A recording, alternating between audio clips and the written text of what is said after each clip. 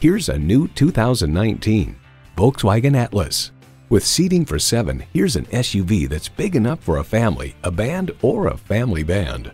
It comes with great features you love.